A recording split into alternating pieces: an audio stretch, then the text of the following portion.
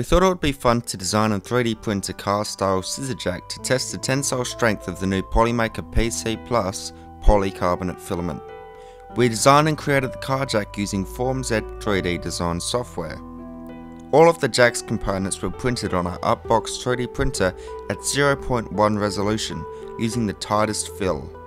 The entire project including the nut and bolt is made from PC polycarbonate, with the exception of the white cap used as a non-slip plate which is made from Polymaker Polyflex filament.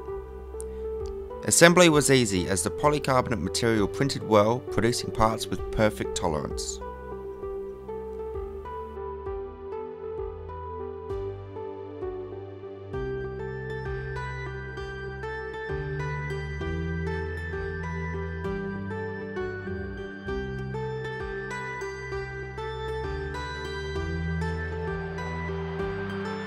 To test the lift strength we decided to use some old solid concrete retaining wall sleepers.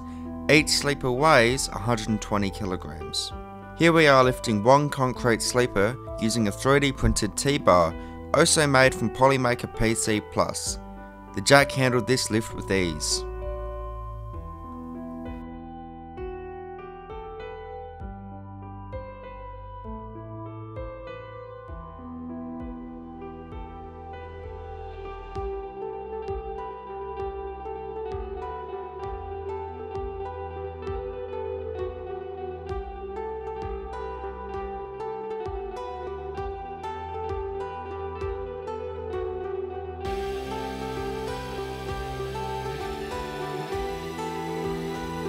Here we added a second concrete sleeper. The weight was so heavy we could not use the 3D printed T-bar.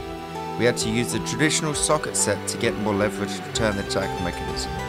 The combined weight of the two sleepers is 240 kilograms.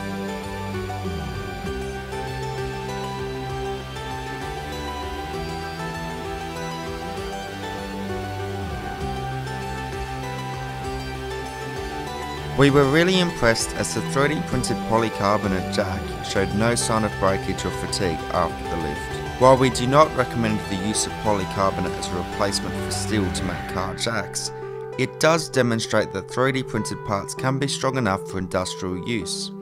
If you need a really strong filament, try our Polymaker PC Plus.